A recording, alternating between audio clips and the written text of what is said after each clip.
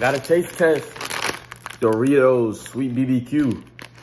Sweet and tangy BBQ. Let's get into it. Comment down below your favorite flavor of Doritos. Low key, I gotta say the purple ones. The purple ones smack. Yeah, I gotta say the purple ones. Let's get into it.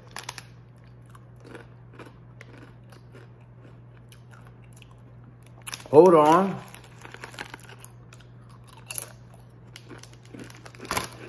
Okay. Let me break it down to you. This tastes like, I don't know what's the name. It's like gold BBQ. Or it's like honey mustard BBQ. I don't know how, what's the name of it. Well, if I can find it, I'll put it right here. If I can find it. It's tough. Is it beating the purple ones? No. Am I buying it again? That's a good question. If it's there, I'm gonna eat it.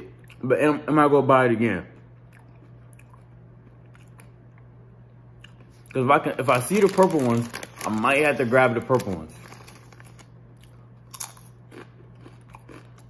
But it's up there with Cool Ranch. It's up there.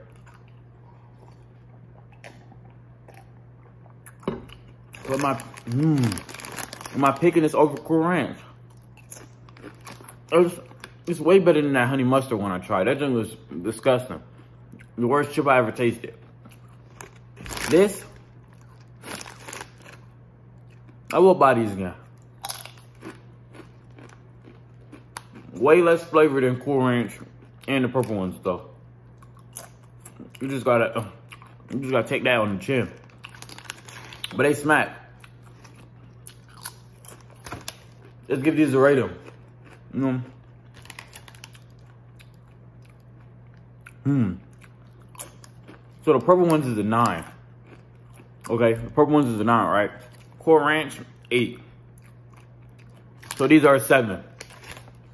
Boy, I could see, I could see how these fall to a 6.5. Cause look, look how much, uh, look how much seasoning is on these chips. You really can't tell on the camera. But then just imagine they didn't give you this much. And it's still not like this, this much of seasoning. You still don't get the flavor.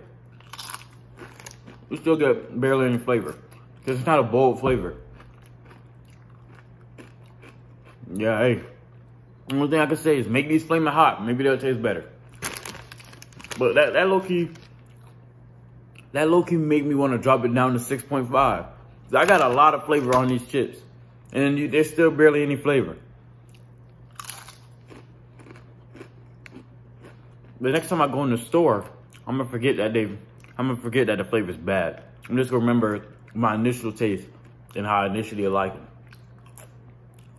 But I'm gonna say, okay, I'm gonna keep it at a seven, and I will buy them again. Mm. Comment down below what you thought of them, if you had them, and comment down below your favorite Dorito. And we also have tried these. These are up.